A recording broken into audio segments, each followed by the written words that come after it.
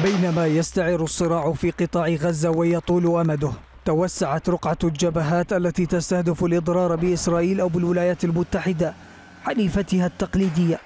وإن بدت حدة المواجهات محدودة على الجبهتين اللبنانية والبحرية اليمنية وحتى العراقية لكن التصدي لهذه الضربات يكلف واشنطن مبالغ طائلة. مؤخرا عادت الطائرات المسيرة لتتصدر المشهد من جديد وذلك بعد أن استخدم الحوثيون هذه الأسلحة الرخيصة لتوجيه ضربات لإسرائيل والسفن المرتبطة بها في مياه البحر الأحمر.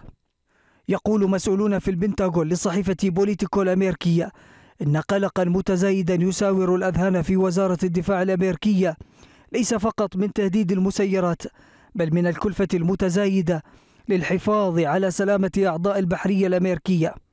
ففي الشهرين الماضيين فقط تصدت مدمرات البحرية الأمريكية لثمانية وثلاثين طائرة من دون طيار وصواريخ متعددة في البحر الأحمر مستخدمة أسلحة باهظة التكاليف لمواجهتها.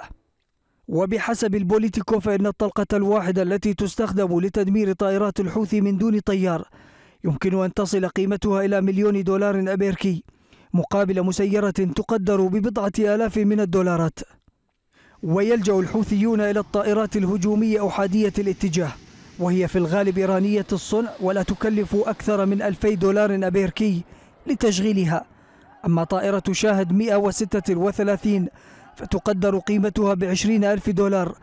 وفي كلتا الحالتين فالفرق كبير في التكلفة.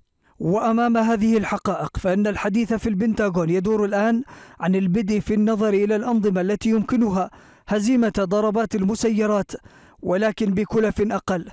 غير أن مركز التحليلات البحرية الأمريكية يقول إن الولايات المتحدة ليس لديها خيار أفضل بخلاف ما تستخدمه في الوقت الحالي.